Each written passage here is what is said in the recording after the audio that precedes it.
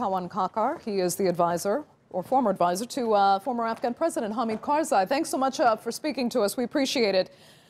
Given all the complaints, you know, of, of corruption sure. and tampering that we've heard about, Hassan was just describing there, do you still feel this vote has merit?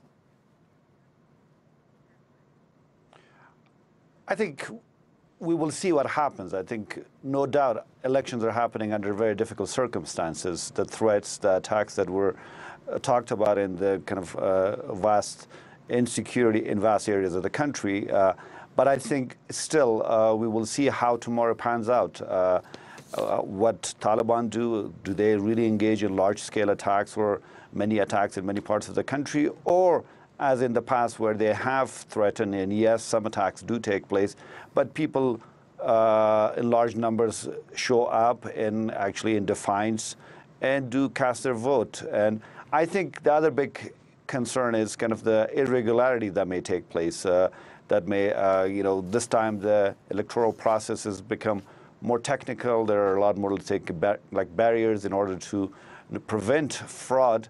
But some of those, uh, you know, they're using biometric machines. they're voting uh, lists, like in the last parliamentary elections. Uh, the lists of voters were not sent to the proper places in all places. So there are, I would say, a lot of variables. Mm -hmm. but tomorrow is the election day, and really, uh, I think now, as in the past, there have been attacks and no threats, but actually the elections have more or less progressed and have been accepted. Okay. okay. Again, uh, we should overall prepare for problematic elections. Exactly. I mean, it, it sounds like. Yes, I mean, in spite of just the triumph of being able to hold an election in this kind of insecurity uh, in Afghanistan, it's still you're, what you're outlining there is whatever the result, it will be challenged because there are just too many questions uh, about the legitimacy.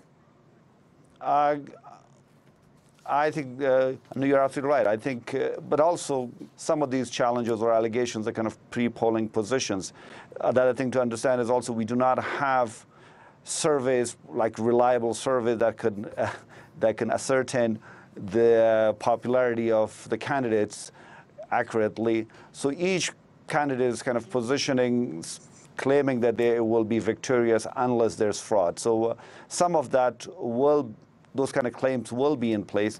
But yes, again, no doubt uh, there are uh, like systematic problems, issues. But uh, okay. again, uh, we have had in the past these issues as well. But right. I think more or less things have uh, been accepted at the end. Okay.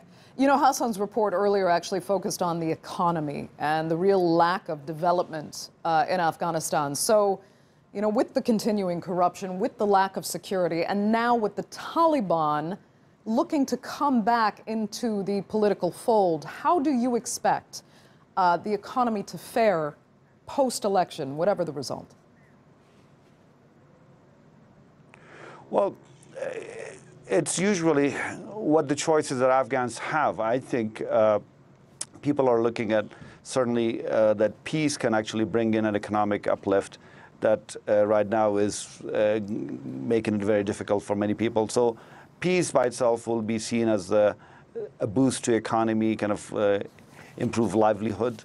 And I think elections, the idea is that uh, with you know, going over elections, having an elected government that can engage in a, a peace process, that actually uh, we will have improvements in the livelihoods of the people. Afghanistan, no doubt, is moving through a very critical and difficult uh, uh, situation. The economic, I mean, the political transition, the economic, uh, basically serious issues.